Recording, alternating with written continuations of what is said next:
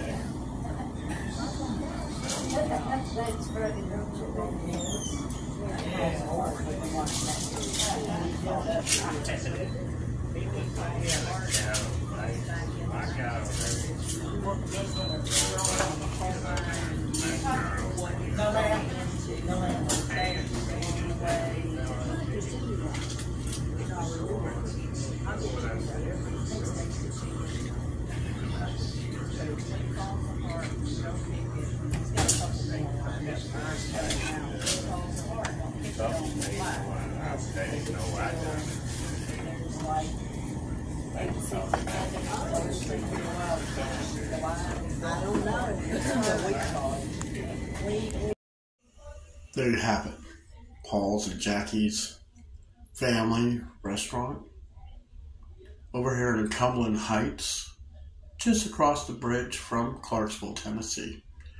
Best food I've ever had. Got to check them out. See you next time.